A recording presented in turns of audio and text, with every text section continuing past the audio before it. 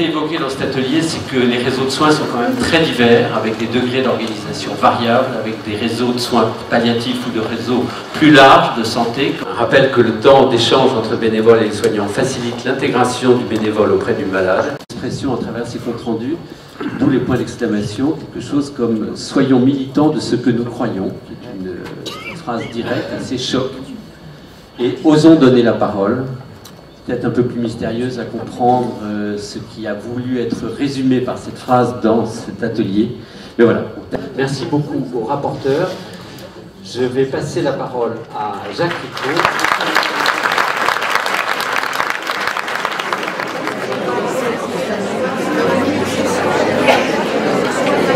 continuer à cultiver non pas l'autoflagellation mais l'autocritique, cette capacité que nous avons à ne pas dire dogmatiquement, ben, nous savons euh, ce... Et moi j'ai énormément apprécié cette manière qu'ont eu les ateliers et aussi les intervenants des plénières de dire toujours, eh bien, nous nous interrogeons, eh bien, nous sommes dans l'incertitude, nous ne savons pas toujours très bien ce qu'il convient de faire. Je dis cela parce qu'en face, il y a toujours le refus de la complexité. Je dis en face, c'est l'opinion, c'est la télécratie. Il y a toujours euh, l'idée qu'avec des yaka, des, solutions qui seraient euh, comme celles qui font qu'on appuie sur un bouton et qui font que tout arrive, il y aurait des solutions comme ça toutes trouvées.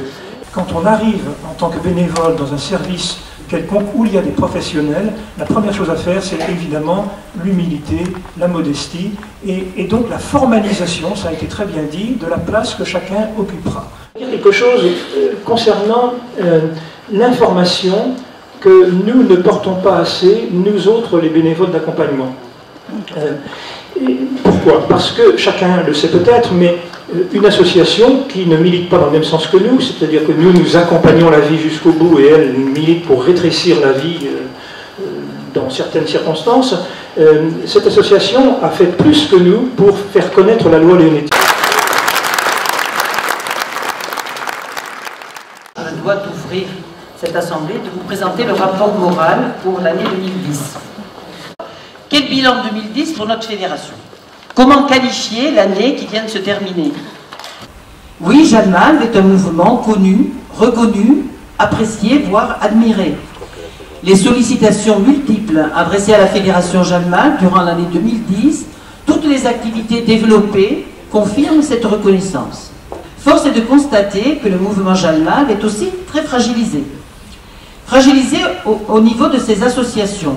Certes, la plupart sont dynamiques, réactives, inventives, attractives, qu'elles en soient félicitées. Cependant, d'autres sont plus fragiles. Certaines d'autres donnent le sentiment d'être très à distance de la fédération et de ses recommandations. Elles ont besoin d'être soutenues, fédérées. D'autres manifestent des signes d'essoufflement, parfois inquiétants, rencontrent des difficultés, voire se confrontent à l'impossibilité de renouveler leur cadre, à recruter de nouveaux bénévoles, à obtenir des financements. Jalman est fragilisé aussi au niveau de la fédération.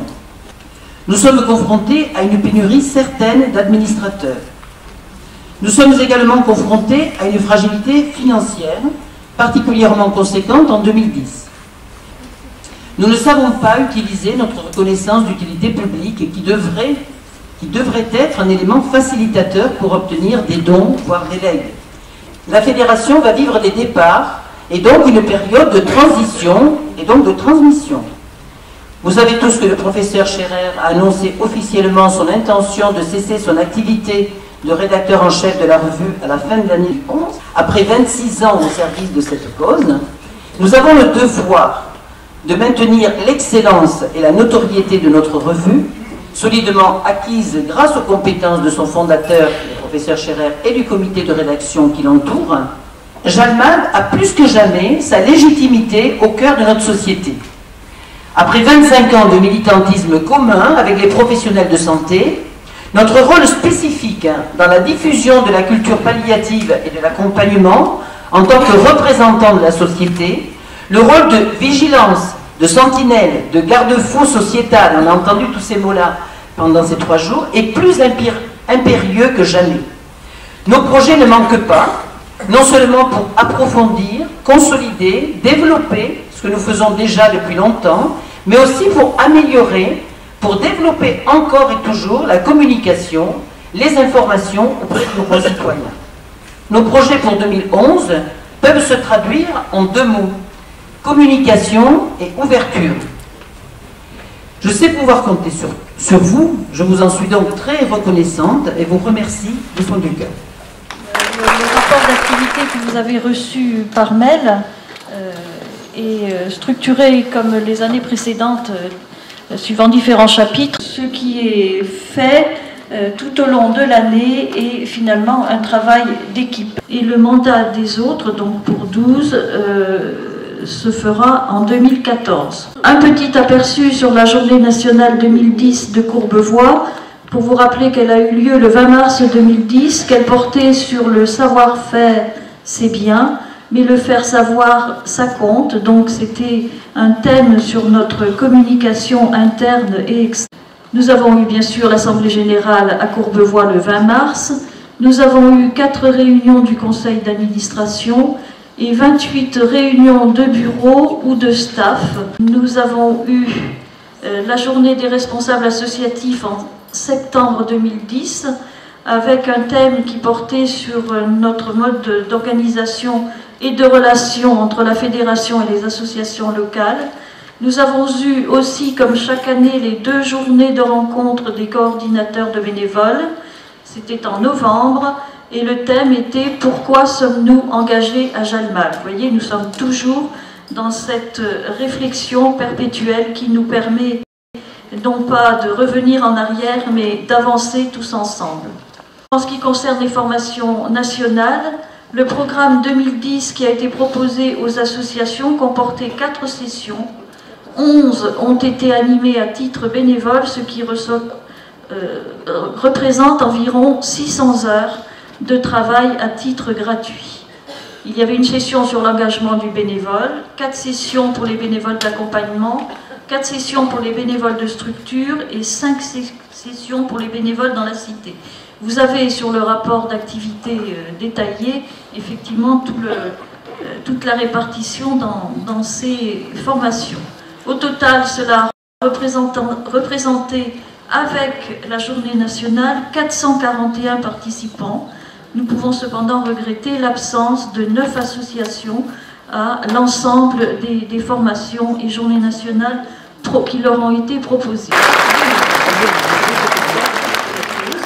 Euh, je me présente Pirette Passerini, je suis la nouvelle trésorière de la fédération euh, Jeanne Malve, élue depuis avril 2010. C'est donc mon premier bilan en tant que trésorière. Le résultat de l'exercice 2010 témoigne d'une année particulièrement difficile, puisque le bilan fait ressortir un déficit de 59 386 euros. Ce déficit de 59 386 euros s'explique essentiellement euh, par deux raisons. Premièrement, le coût démesuré des formations nationales et l'insuffisance de recettes, c'est-à-dire l'insuffisance de subventions. Depuis plusieurs mois déjà, nous avons entrepris d'élargir nos demandes de subventions et pour cela, nous avons donc réactivé le pôle recherche de fonds dont Serge Imbert, président de Jeanne-Marc Audou et administrateur de la fédération, est désormais responsable. Avec...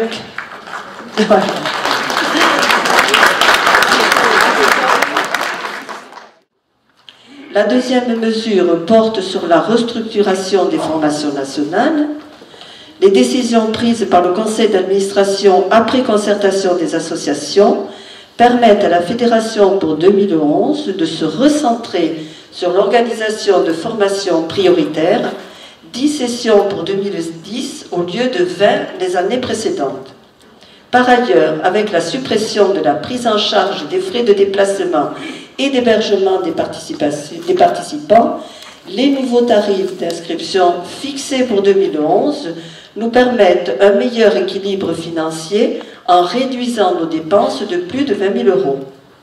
Ainsi, grâce à ces deux mesures, la situation financière pour l'année 2011 se présente de manière très encourageante.